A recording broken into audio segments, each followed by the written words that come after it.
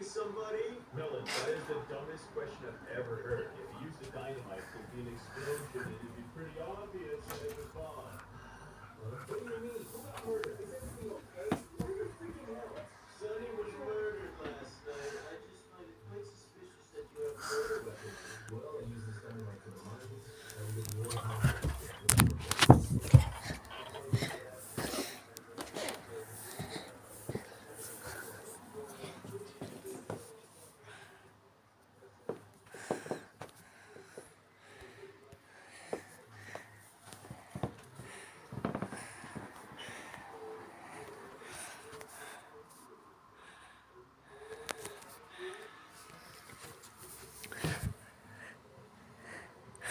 Tiêu.